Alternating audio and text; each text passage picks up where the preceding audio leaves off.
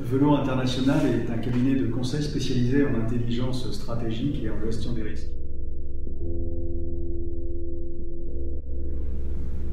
Alors, la Colombie euh, constitue un marché de, 50 millions d'habitants qui est comparable en volume à l'Espagne.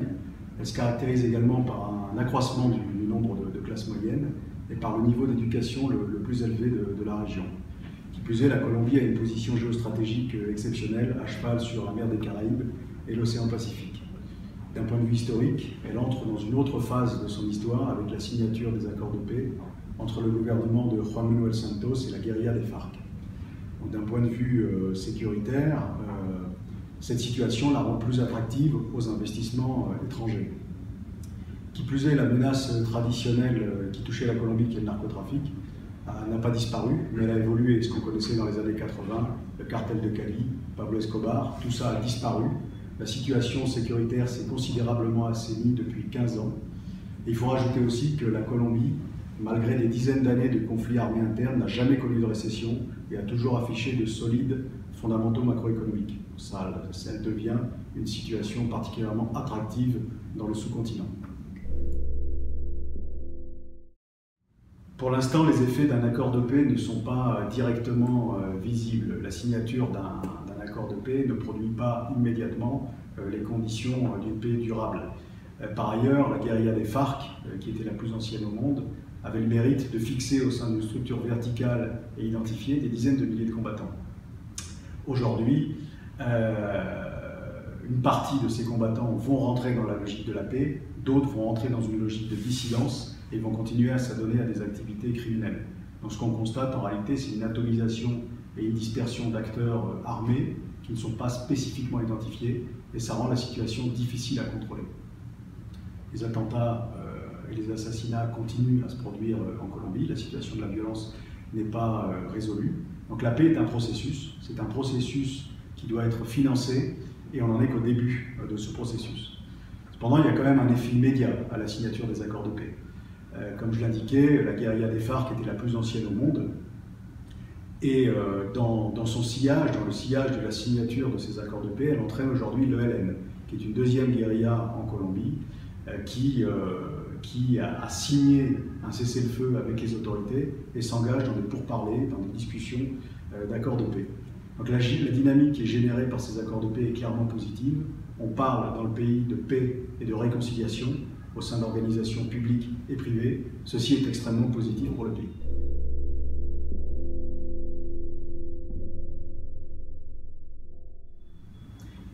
Alors tout dépend toujours euh, du profil euh, des personnels qui sont envoyés en Colombie, de leur mission en Colombie et du lieu dans lequel ils vont travailler.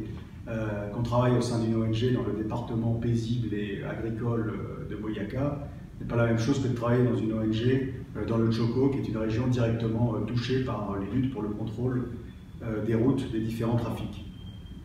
Donc la première chose à faire pour ces personnels qui sont envoyés en, Colombie, c'est d'abord de s'informer, de s'informer sur le niveau des risques qui existent dans les zones dans lesquelles ils vont, ils vont évoluer. Et la deuxième chose à faire, ce serait de se former, se former à agir aux principaux modes opératoires auxquels ils pourraient être confrontés. De quoi on parle?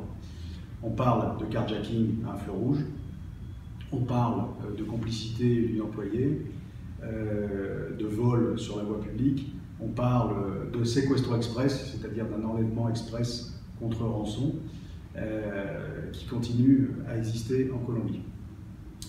Ça, c'est pour les personnels. Pour les organisations, la logique voudrait qu'on cherche à recueillir un maximum d'informations sur son environnement pour le maîtriser. Donc, environnement externe et environnement interne. L'environnement externe, c'est la posture de veille et d'intelligence économique. Euh, l'environnement interne, c'est l'audit. Euh, l'audit interne, et on pourrait rajouter euh, en complément de, ces postures qui sont vraiment fondamentales, la formation. La formation des personnels, la formation des cadres en particulier à la gestion de crise, et aussi l'information à partir de sources de qualité pour, pour l'ensemble de ces personnels. Enfin, si nécessaire, et en fonction de la situation, il faudrait prendre des mesures de protection euh, adéquates.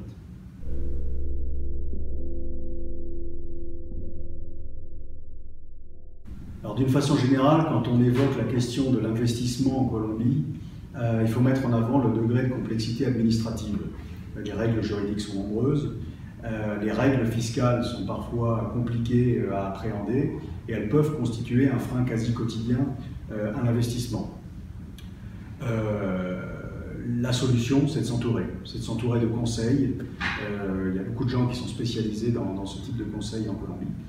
D'un point de vue sécurité, euh, le principal écueil en matière d'investissement en Colombie, ce serait de minimiser les risques.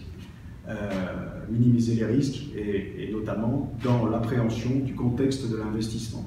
Donc de quoi parle-t-on? On parle de fraude, on parle de compliance, on parle d'information générale euh, sur le contexte de l'investissement. Là, le maître mot pour nous, c'est clairement la due diligence, qui est une véritable nécessité lorsqu'on veut investir en Colombie.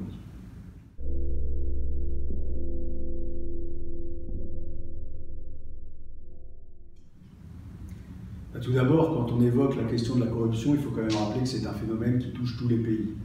Euh, la seule façon de lutter contre la corruption, c'est d'avoir des règles qui sont clairement édictées et ensuite des institutions pour appliquer ces règles. C'est la vertu de la sanction. Euh, la Colombie, en la matière, a un arsenal juridique qui est très complet. C'est probablement le plus complet euh, de la région. Elle dispose d'une stratégie nationale de lutte contre la corruption. Il y a un secrétariat de la présidence de la République consacrée aux questions de, transparence.